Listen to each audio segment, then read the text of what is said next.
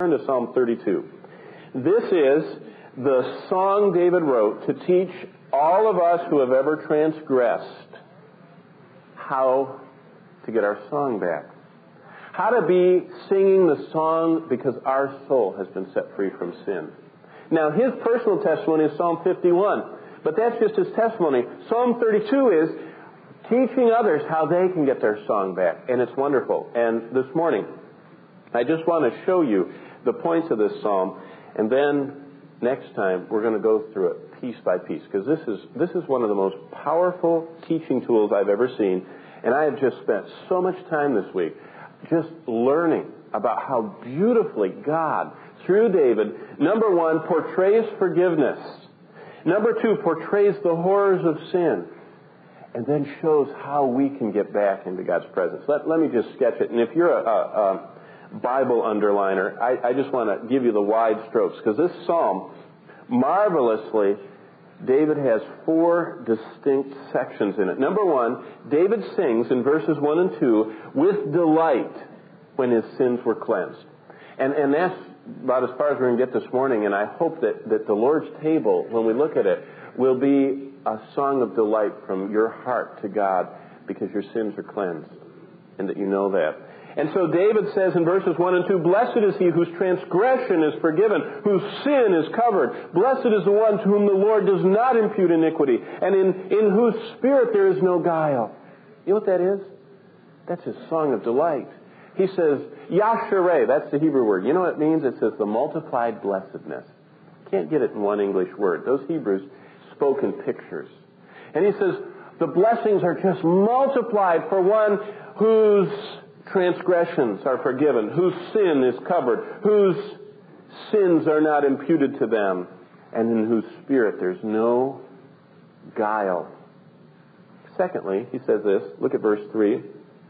David sings about his despair when his sins were concealed. He says, Don't ever cover your sins. It'll bring you to the point, as it did to me, of near destruction. Look what he says in verse 3. When I kept silent, when I wouldn't look up to you, God, when I wouldn't say, I'm the man, I'm the sinner, when I kept silent, my bones grew old through my groanings all day long. He said I could keep up the outward appearance, but inside I was wasting away. I was groaning on the inside, he said. Verse 4 For day and for night your hand was squashing me. My vitality was turned to the drought of summer. And then he says something. You know what Selah means? It means, hey, look at this. That'd be a way to put it in English. You know, the Hebrews, what they, they just stopped everything. They said, Selah. You know what that means? Did you catch that? Did you see the point? And what he said is, when you sin, if you're in God's family, he'll convict you. And David said he did. He says, God sent me conviction. But he keeps going. Look at verse 5. Because first, in verses 1 and 2, he sings with delight because his sins were cleansed. But verses 3 and 4, he's teaching us that you have despair when your sins are concealed. But thirdly, in verses 5, 6, and 7, he sings of the deliverance he knew when he confessed his sins. And, and how wonderful it was. His deliverance came, and he sings of deliverance of confessed sins. Listen to this song of deliverance in verses 5 through 7. He says, I acknowledge my sin to you. Then he uses another word, my iniquity I haven't hidden. Then he uses another word, I will confess my transgressions to the Lord. Then he uses another Hebrew word, and you forgave the iniquity of my sin. And then he says it again. He puts a big bold underline, Selah.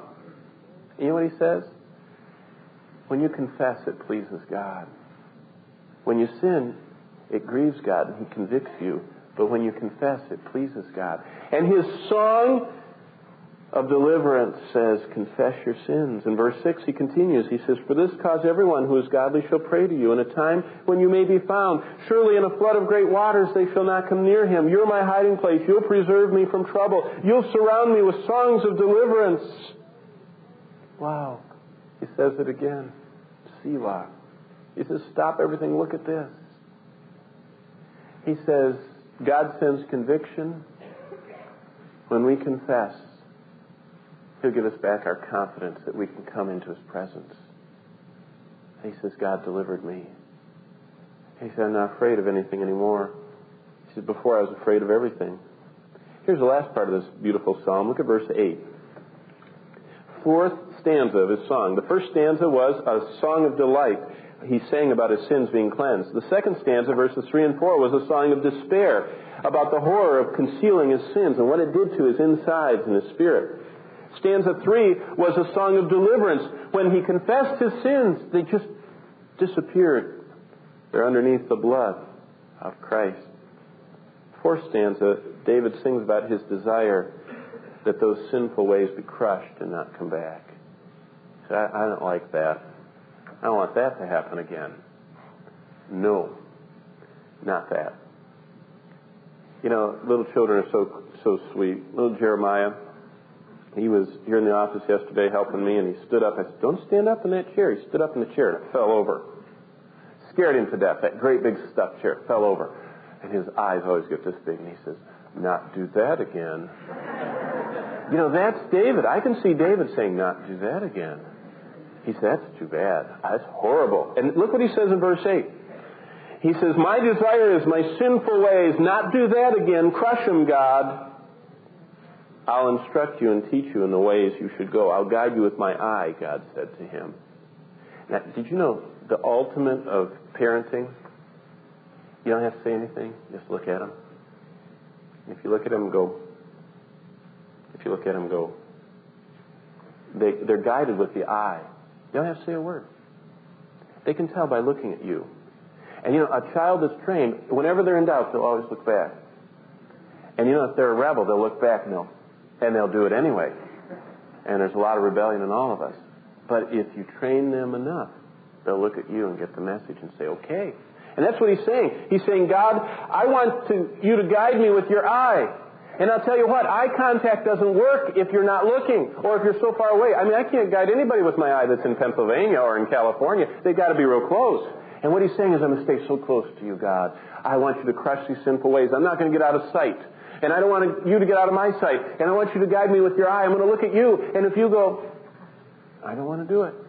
You see, he's had such a tender heart. Verse 9, don't be like the horse or the mule they don't have any understanding. They have to be harnessed with bit and with bridle, else they will not come near you. Verse 10 Many sorrows will be to the wicked, but he who trusts in the Lord, mercy surrounds him. Be glad in the Lord and rejoice, you righteous. Shout for joy, all you upright in heart. David sings of his desire that his sinful ways be crushed.